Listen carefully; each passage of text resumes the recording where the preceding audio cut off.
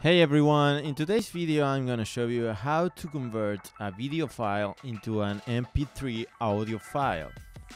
So if you were looking for something like this, watch this video and find out how to do it. So let's jump into it. Okay, so first of all you have to open the app called VLC Media Player if you don't have the app installed on your computer, all you have to do is open your browser and search for this website called videolan.org. When you're here in the website, all you have to do is click on download VLC. But first, you have to select your operating system installed on your computer. In my case, it's 64-bit, so I'm not gonna change anything. And if that's your case too, all you have to do is click on download and install the program. If you don't know which operating system you have, you have to go to your PC and check the settings. Click on this PC and choose properties.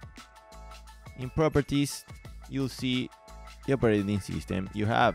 For example, in my case, here it says system type 64-bit operating system. So that's how you can know which kind of operating system you have. Okay, so back to the program. First of all, you have to go to media here and scroll down until convert slash save. Alternatively, you can also click Ctrl plus R on your keyboard. You're gonna see this dialog box pop up on your screen.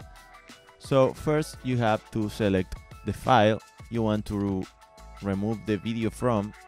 So let's click on add. And in my case, I have the video here in this in this folder. So I'm to click it. Okay, so once you selected the file, you have to choose the format of conversion. So here on profile, you have to scroll down until you see MP3, audio MP3 and select it.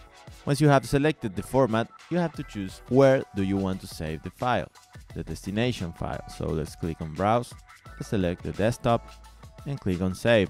You can also change the name and click on start. You'll see the program is working here at the bottom and now it's ready. And here it is. So let's play this audio to see if it's true that now it's just an MP3. Great, here we have the audio.